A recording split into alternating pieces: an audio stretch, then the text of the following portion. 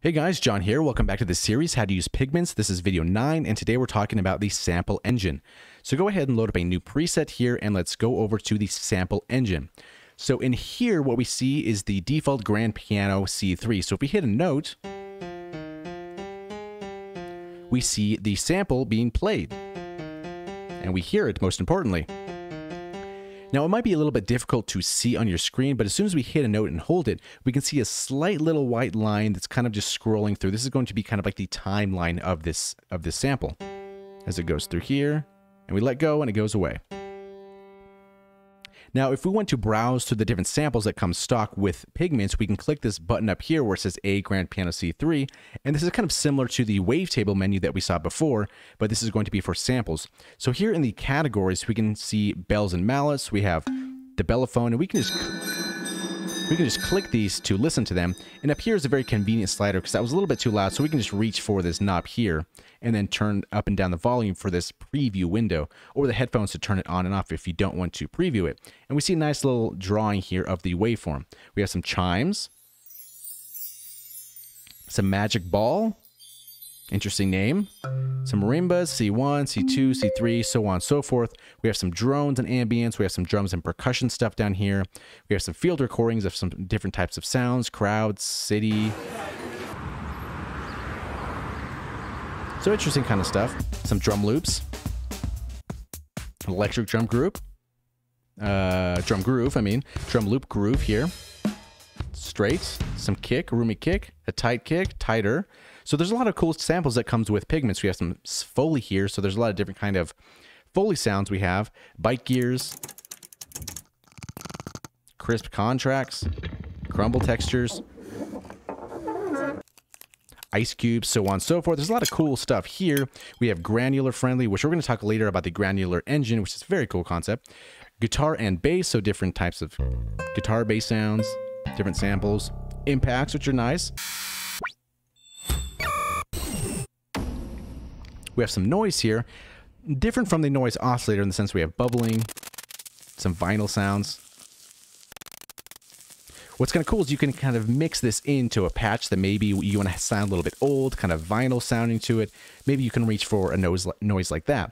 And then you have others, so just a whole different category here you can import your own folder if you click this little plus right here.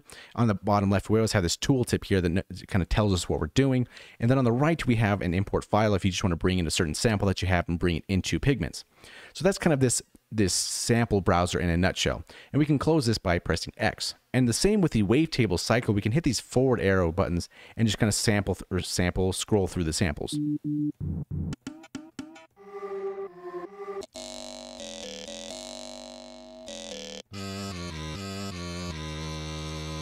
Now, this sample engine has a lot of the similar stuff that the other engines have as far as tune, which we've covered, the unison, which we've covered, output. Sample grain is going to be specific for this engine, and then the modulator, which is basically what we talked about before in the last few videos. So really, the meat and potatoes of the sample engine are going to be in your main, your edit, and your map. So here in your main, you're kind of seeing an overview. And this sample grain menu here is going to be these two buttons here, or these two knobs here, where we have start, where we can choose within the sample where we want to have the sample start playing at. So maybe we like just this section down here and we want to start it from right around here we can do that as well. Then you have the volume here for the sample slash grain engine, which is over, which is different from the output of the engine. So this volume is going to be for the engine, and this one down here is going to be for the sampler. They're a little bit different. So moving on, what we have here is the edit menu here. So here's where you can more so define where you want your sample to start, if you want them to play forwards and backwards and tune them and so on and so forth. So over here on the tune A, we can transpose. Let's bring this let's actually bring a more easier tone. Let's bring in a, a marimba C1. Let's let's try that for for for a change here. So we bring the start all the way to the beginning, and we hear this note. So if we want to transpose this, we can we can do that right here.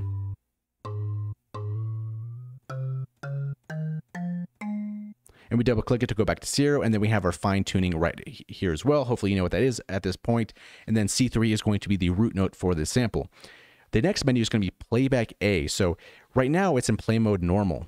So it's functioning as we normally would expect it to. However, if we click this, we can go to reverse. and it's going to reverse as you see this line going here all the way here. But if we want to if we want, don't want to wait all this way here, we can grab this little flag here and we can move this all the way over here. And now it's going to start from here. So now this is going to be the focusing spot of the sample that we have. Now we have a loop here. And it's just going to keep looping it. So let's go back to normal here and kind of listen to the loop. So it's looping as we would expect. Now something to keep in mind that if you didn't see it, we have the top flags here, but we also have the bottom flags. So if we drag this bottom flag over here to the right, and let's see what happens now. So if you didn't notice, once we start the loop, it's going to play all the way through the loop. And based upon where this, this bottom flag is, that's going to be the loop point where it keeps going.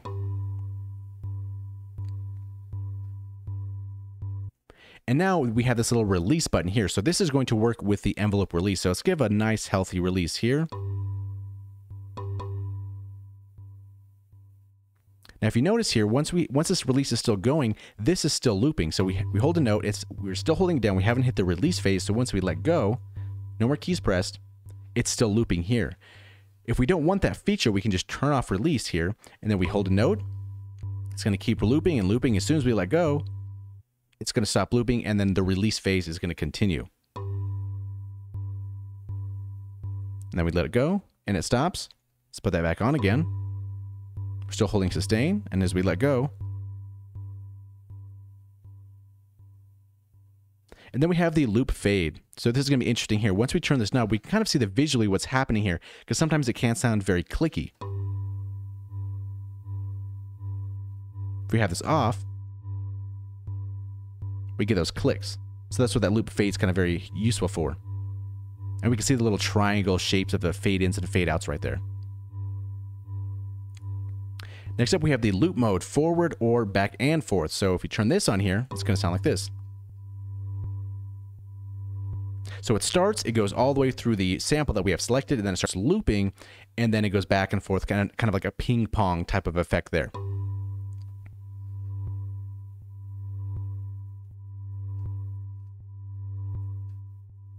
So very interesting. So moving on from there, we have the mix A, the gain, and the pan. So let's put some of these back to normal. Let's take off the loop and we just have our sample here. Let's bring our release back to normal. So mix A is going to be the gain for this sample. Can bring it up, can bring it down. And this is useful because once you start filling these different slots, with maybe your own type of samples. Some are lower, some are quieter. So it's nice to have a gain knob here so you can kind of even them out if you if you intend to do so. Or you can pan them. And this is going to be for sample specific stuff. So if you hopped into B, it's going to have the whole same menus here, but just a little bit different. Now for slot A, you have three different icons here. And at any time, if you're kind of confused or you're wondering what these things do, there's always a tooltip in the bottom left that gives you so much information, which you don't really have to read, reach for the manual as much. So if we hover our mouse over this, it says copies the selected sample to a different slot. So if you have this sample and you don't want to like drag the whole thing and find the other one, you can just copy that to sample B and it brings it right into here, which is super convenient. So next up here, this is going to be slot A reset, so it restores to the default state of the sample. So let's click this, and then we have the length again that we changed, the tuning, and so on and so forth. It resets what we have here. Next, we have the trash can, which says removes the sample from the slot. So let's throw this one away. And it says, are you sure you want to remove this sample, selected sample from the slot? Okay, boom, it's gone. Now we're just left with B, what we had originally as we copied it. So that is the edit in a nutshell. Moving over to map, so this is going to be kind of interesting. So for this demonstration to kind of make sense, what we need to do is go to A and let's add some different type of sounds. So go to bells and mallets, let's add a vibraphone. And this first one, C, let's add maybe one of these here. D, let's go and add a classical guitar. E, let's add, let's see, what we have here? Let me another bells and mallets. Music box, sure. And then one of these ones here. So now we have all our samples full. A through F are all full of samples. So now this mapping is going to come into play. So if we look at single, this is going to be what it says down here. Only the current selected sample is played across the whole keyboard and velocity spectrum.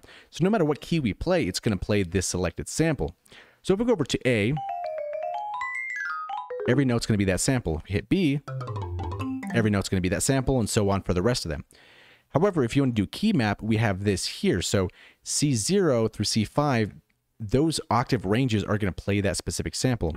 So if we have our keyboard here, you can see my notes here. As I go up an octave, it's going to play different samples. And we can see right here is playing the C. And if I went higher, it's going to play the D.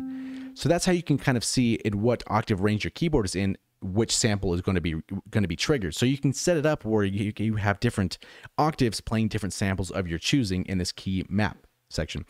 So then key velocity is kind of the same, but it's also with velocity as well. So we can have a range. So if we see A and D are going to be on C2, so that octave section, and then we see the 64, that's going to be the velocity number of where it's going to change to the sample.